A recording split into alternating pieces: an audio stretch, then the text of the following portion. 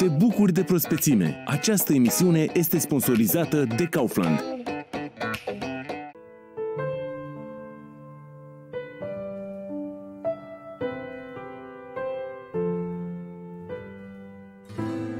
Qui dove il mare luccica e tira forte il vento sulle vecchie terrazze davanti al golfo di